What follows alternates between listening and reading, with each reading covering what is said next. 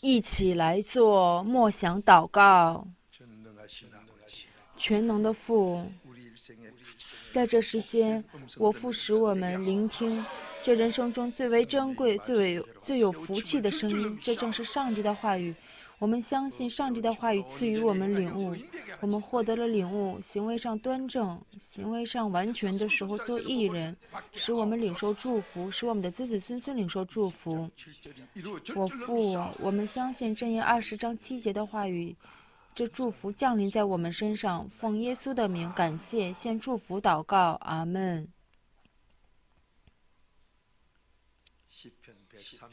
在座的各位弟兄姊妹。诗篇一百三十九篇一节，上帝告诉我们：我们的行为，我们的一举一动，上帝全知道；我们心里在想什么，上帝全都知道。我们在年轻的时候，或者现在面临的处境，我现在工资不高吗？千万不要抱怨。无论面对什么样的处境，千万不要抱怨。无论上帝交给我什么样的事情，路加福音十六章十节，我能诚实的。对待每一件事情，哪怕我现在工资一天都不足二十块钱，每天仅够喝一碗粥。尽管这样，我能诚实的做自己的事情，真真诚、献忠心的做一件事情的时候，大家知道约瑟一分钱工资都没有拿，十年以来辛辛苦苦，真是诚实、诚恳、献忠心做了每一件事情。那么时候到了，上帝让约瑟休息一下，就进了监狱。到了监狱，约瑟就开始默想上帝的话语，然后学习了法律。时候一到，上帝使约瑟做了一国宰相，通过约瑟拯救了整个当时他处在的那个区域，也也拯救了约瑟的故乡。而且约瑟的这个任期是最最长的，约瑟当国务总理的时候是最长的任期呀。好多人现在追求名誉和金钱，不与上帝同行的时候，再有钱、再有名誉，这都是泡沫而已。智慧，而上帝赐予我们的智慧，我们找一下《箴言》八章十到十一节。我们的心愿，我的心愿得到实现，这已经很好了。而上帝赐予我们的智慧，要比实现心愿更强。而每当我朴牧师想给大家。传智慧的时候，上帝总是引导我讲别的。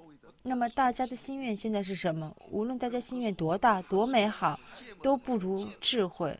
只要获得上帝赐予我们的智慧，什么样的心愿都能得到实现。所以所罗门，所罗门也求了智慧。我相信，在今年开始，上帝赐予我们教会这智慧。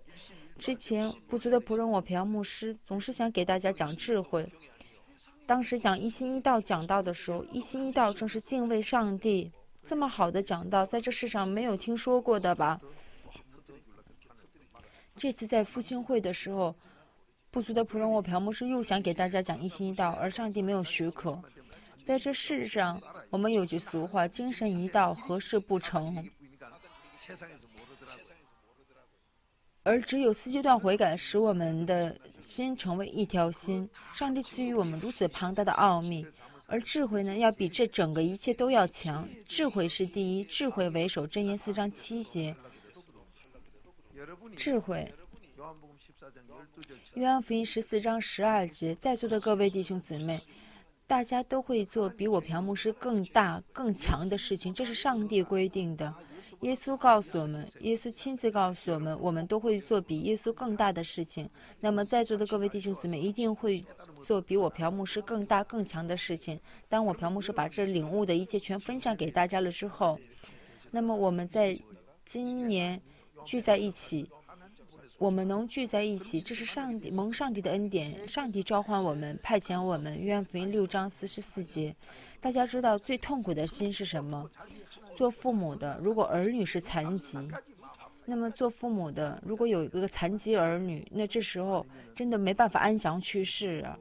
如果儿女是精神病患者或者是残疾的身体，那做父母的心是最痛苦、最难过了。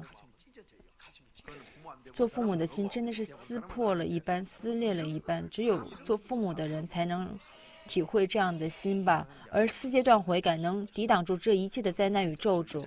箴言八章十节十一节，我们一起来读一下。一二，你们当受我的教训，不受白银，宁得知识胜过黄金，因为智慧比珍珠更美。一切可喜爱的都不足以比较。阿门。今天上帝告诉我们，比金子银子更为宝贵的是，从上帝那里听听责备。我听了责备，我认罪悔改了。听了责备之后呢？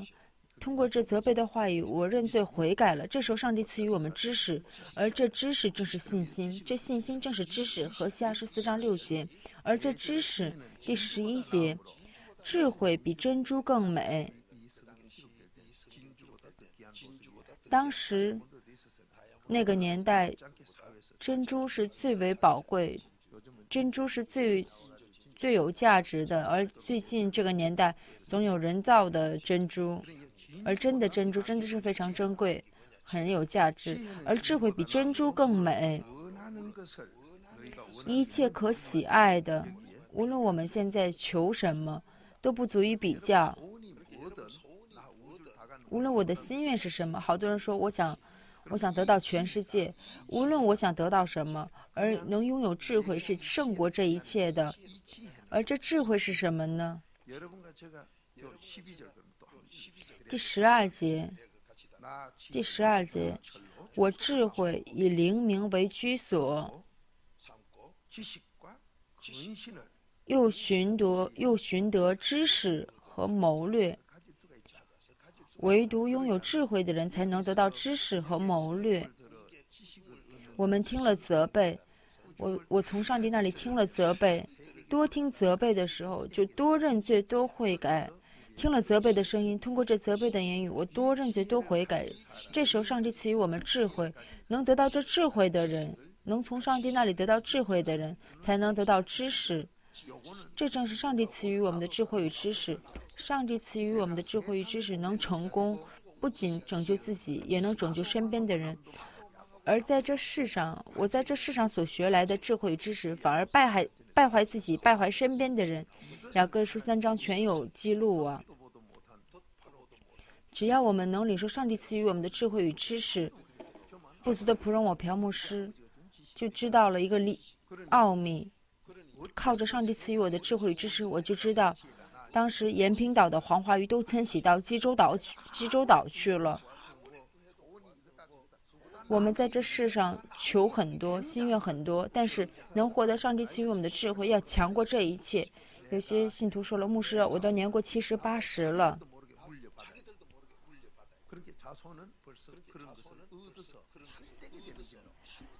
而我们领受了上帝赐予我们的智慧与知识的话，儿孙也能领受这智慧与知识。所以，对于我们，这是多大的盼望，这是多好的祝福呢？好多人说我年龄大了，我什么都不懂。虽然我什么都不懂，但是我们祷告。求告上帝的时候，上帝就把好的祝福留给子子孙孙。我们种下什么就得什么，所以对于我们来说，多认罪、多悔改就是最好的。那么，在今年，在新的一年里，我们要领受这最好的祝福。那么，每一天我们应该怎么生活呢？雅各书五章十三节来找一下。法利赛人、文士、法利赛人和信徒。有什么样的区别呢？面对相同的事情，如果能存耶稣的心，这是属于信徒；而面对这件事情带着心怀二意，存心怀二意，带着疑心疑惑的，这就是成了法利赛人文士了。马太福音十二章，大家知道马太福音十二章，在安息日的时候，耶稣医治了患者，而法利赛人文士呢，就反对耶稣所做的一切。什么是法利赛人文士？违背圣经的话语，反对圣经话语的，不走向善事，违背上帝的话语的，这都是法利赛人文士。总带着怀疑，总有理由，总有狡辩的，这都是法利赛人文士。最近法利赛人文士真的太多太多了。我们做四阶段悔改，好多人对四阶段悔改存怀疑，却不认识自己是不是也成了法利赛人文士呢？法利赛人和耶稣是有本质上的区别的。耶稣进入到我们心灵，这是信心。我们认罪悔改了，拥有了信心，那么这时候能像耶稣一样，存耶稣的心，希望他人得到祝福，希望他人得到医治。而法利赛人文士呢，一定要研究怀疑，心怀二意。我们心怀二意，爱研究，爱爱狡辩着，这都是跟猪狗是一样的。离开了信心就是猪狗啊！好多人以为我太聪明了，所以我总有疑问。不要再自作多情了。格林多前书八章一到二节，我以为我懂的时候是最为无知的时候。爱怀疑、爱研究的，自以为聪明，但是上帝说那是最无知、最无知的时候。成了猪狗的时候是最无知的了。所以我们总是自己被自己欺骗，我们以为自己很聪明，其实是最笨的时候。箴言二十六章四节。我朴牧师真的是很心痛啊！马太福音里面就很明确的告诉我们，法利赛人文士违背耶稣，总爱怀疑，总爱研究。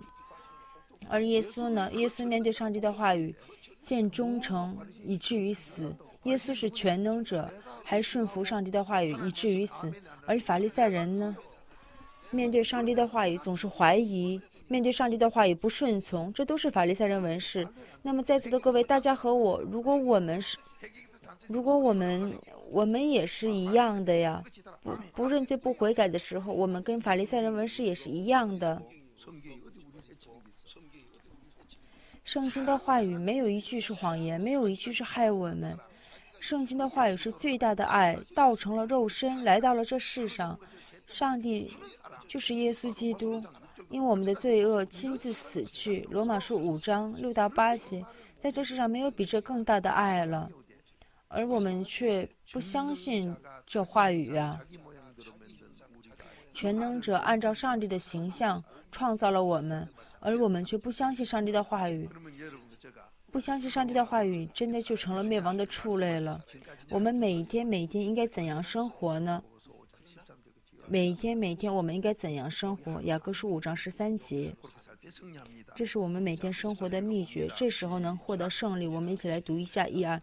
你们中间有受苦的呢，他就该祷告；有喜乐的呢，他就该歌颂。阿门。阿门。我们再来读一遍一二。你们中间有受苦的呢，他就该祷告；有喜乐的呢，他就该歌颂。阿门。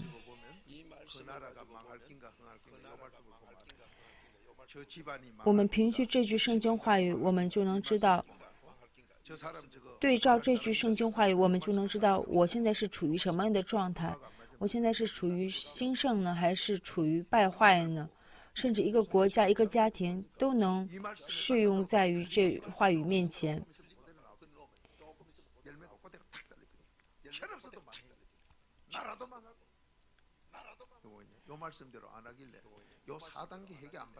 如果我们没有照着这话语做，不做四阶段悔改的时候，我们国家也是走向败坏的。对照上帝的话语，不足的仆人我朴牧师就能看清一切了。什么是谋略？谋略能让我们看清一个人的心理。有时候我看我们信徒的心。哎呦，这位信徒怎么还要走向败坏呢？朴牧师是怎么知道这一切的？雅各书五章十三节就告诉我们这一切了。大家只要能领悟雅各书五章十三节，我就能知道我是否走向败坏，我是否走向兴盛，我的家庭、我的事业，甚至我的教会、我们的国家，甚至我们的城市，是不是走向兴盛与败坏？上帝赐予我们了所有的话语，那上帝的话语，面对上帝的话语，我们应该怎样呢？我们只有顺从，只要照着上帝的话语如实做，能活；不遵守上帝的话语，就只有死路一条啊！无论是牧师长老，不照着上帝的话语做，就就只有死路一条。因为这一切都是没有最没没有照着上帝的话语如实做。雅各书五章十三节，我们遇到问题了吗？那么就祷告吧。什么是祷告呢？祷告是认罪的悔改祷告。诗篇五十篇十五节，我们遇到患难的时候，遇到困难的时候，赶紧认罪悔改。好多人遇到困难了，却不愿意认罪悔改，光找的是人的，光找的是我们世俗的方式。认罪悔改的人，家庭能兴盛，家庭能幸福。多认罪多悔改的话，能领受祝福，能领受的祝福的这盘子就很大了。不认罪不悔改的时候呢，我我所拥有的，我能得到的，都被抢走了。那么，在座的各位弟兄姊妹，我们能聚在这里，照着上帝的话语认罪悔改、洗罪的时候，儿女自然就能领受祝福了。而做父母的不认罪不悔改的话，反而是把灾难加给儿女身上，害死儿女了。按照我们的行为，上帝如实返还给我们。民数记十四章十八节。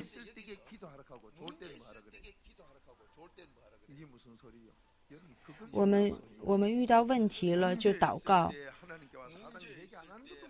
我们遇到问题的时候就认罪悔改。我们国家稍微有好事儿了，我们遇到好事儿了就开始要去出去玩，去吃好的，去喝好的，去海外吃补品，吃熊掌啊，又吃眼镜蛇呀。我们国家韩国女性补身体。吃那些熊掌，吃那些眼镜蛇的录影带都被照出来了，都是走向堕落了。有好事儿的时候，我们应该歌颂上帝。怎么才能歌颂上帝呢？诗篇一百篇四节，我们感恩感谢了，才能称颂于上帝。不感恩感谢，好多人说不感恩不感谢的时候所唱的歌，那都是。唱给魔鬼听的，在这世上，好多人喜欢唱歌，唱流行歌曲，而这都是堕落的表现。我们遇到问题的时候，应该悔改、祷告，做四阶段悔改。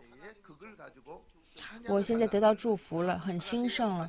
这时候我们要歌颂上帝，而首先我要懂得感恩感谢，才能歌颂上帝。做了四阶段悔改了之后，才能感恩感谢呀。得到了祝福，我也要不停地做四阶段悔改，不停地认罪悔改，这时候才有真实的感恩感谢，能歌颂上帝。铁萨罗尼迦前书五章十七节。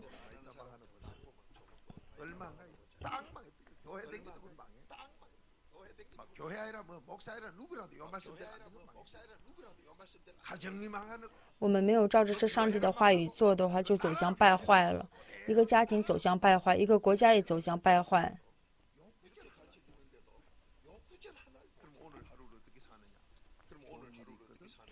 那么今天我们应该怎样度过这一天呢？我们遇到好事儿了吗？遇到好事儿，赶紧认罪悔改。主啊，这一切，这这好事儿并不是靠我做的，全蒙上帝的恩典。多认罪，多悔改，多认罪，多悔改，做了四阶段悔改，这时候一定会有感恩感谢的。感恩感谢的时候，才能歌颂上帝，唱赞美诗。对于我们来说，要不停的认罪悔改。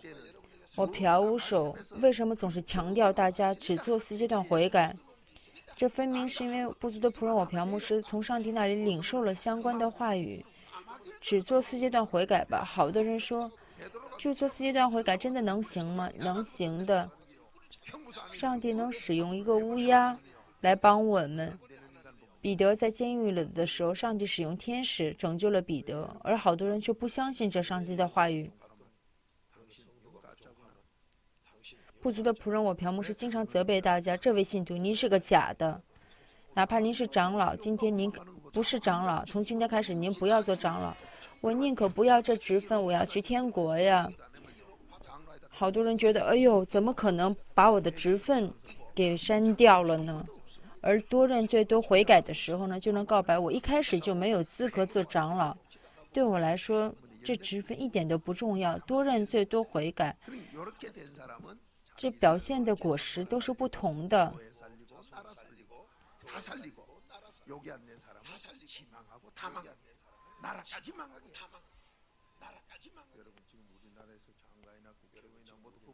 大家知道，我们国家某个长官或者是国会议员、公务员，没有一位公务员是想毁坏一个国家、毁坏百姓的，都想为国家着想，都想为百姓服务。但是为什么结果却不好呢？在座的各位弟兄姊妹中也有经济学博士，我们人类在研究，我们却不认可上帝，不不承认这一切是由上帝来主宰的。人类研究的再好、再精确，只要上帝不许可，这一切都变成了泡沫。雅各书五章十三节。无论是我个人还是国家，国一个国家是否兴盛，我是否能兴盛，全靠这雅各书五章十三节。好事儿遇到好事儿也要认罪，做四阶段悔改；遇到不好的事情也要认罪，做四阶段悔改。多认罪，多悔改。对于我们来说，只有认罪悔改。这一句经文已经把世上的学问和宗教全甩到脚底下了。圣经的话语才是最高的学问，是至高至上。菲利比书三章，这上帝的话语是不足以，这上帝的话语是没不可能与圣世上的世上的学问相比较啊！我朴牧师也是全靠上帝给我的领悟。雅各书五章十三节。我真实的被造就起来，这时候我的家庭被造就起来，这时候教会被造就起来。我们国家能不能得祝福，正是使我的良心先要活过来。而为什么大家始终还不愿意领受呢？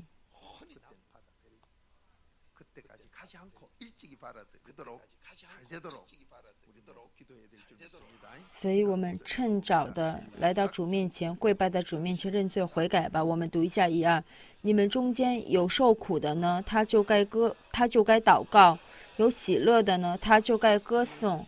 阿门。好多人遇到好事儿呢，就忙着先唱歌，先歌颂了；遇到好事儿，还是要先认罪洗罪，做四阶段悔改。然后直到有感恩感谢为止，然后才能歌颂上帝呀。欧洲并不缺少唱歌，并不缺少乐器，曾经那么多人赞美歌颂了，为什么最终还是走向了落魄呢？并不是说唱歌歌颂就可以了。一定是要靠着基督的宝血洗罪认罪，真切的做四阶段悔改，直到发自内心有感恩感谢涌出来，这时候歌颂上帝才是真实的歌颂。我们找一下诗篇一百篇四节，雅各书五章十三节，这一句话语能拯救整个人类。而我们读了雅各书之后呢，怎么一直领悟都没有啊？我们的领悟太欠缺了吧？大家千万不要傲慢、骄傲、张狂。圣经的话语比蜂蜜更加甘甜。大家知道蜜蜂为什么一定要吃蜜呢？蜜蜂不是来看花的，是来吃那个花里面的蜜。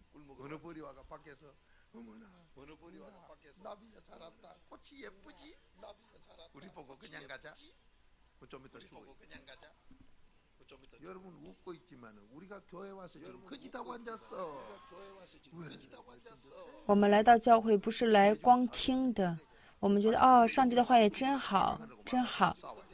结果呢，都成了死人。什么是死人的表现？相互争论，相互争吵。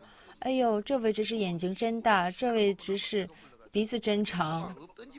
而上帝的话语不是光听，听了之后还要吃进去。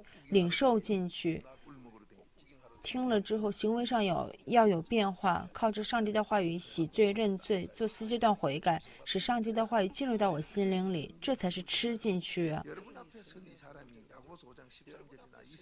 站在大家眼前的不足的仆人我，雅各书五章十三节，我朴牧师是怎样默想圣经话语的呢？这句圣经经文里，前面也是悔改，结尾也是悔改。遇到问题了吗？那就悔改吧。遇到好的事情，喜乐吗？还要悔改。雅各书五章十三节。这一张纸，比如说，我的是我多认罪多悔改，我领受的福气的这个盘子越来越大，我就能多领受这个祝福。